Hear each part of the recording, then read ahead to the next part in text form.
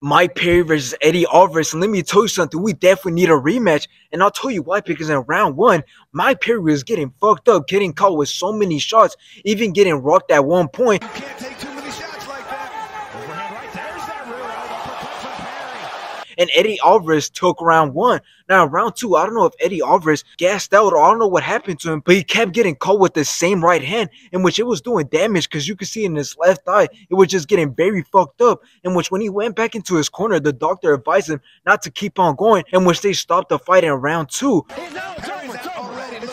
ready to go. It's over. It's over. It's over. They're saying this fight over.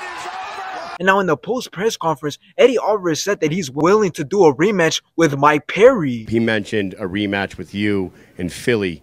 Do you want that to be your next fight in this company?